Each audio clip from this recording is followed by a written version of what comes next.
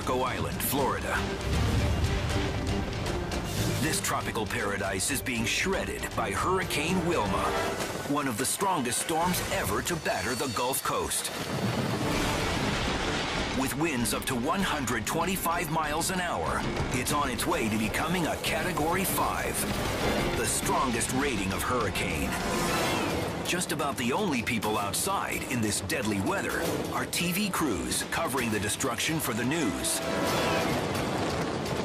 For freelance cameraman Amon Nishaw, finding shots of nature's dark side has been easy. The hard part is getting back inside when he's done.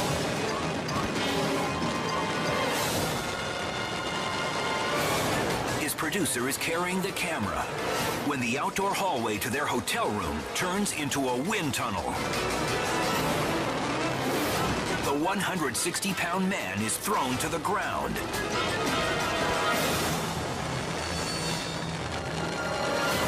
The producer thinks he's getting spectacular footage until Amon is blown against a flimsy railing.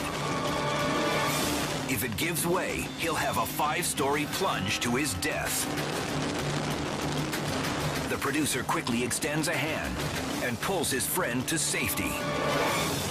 I've been out in some heavy, heavy storms, but gale force wind is nothing compared to what I went into it. I don't know whether the wind just picked up as I came out or not, but it came right around the corner, caught me, blew me right down, all the way down the balcony.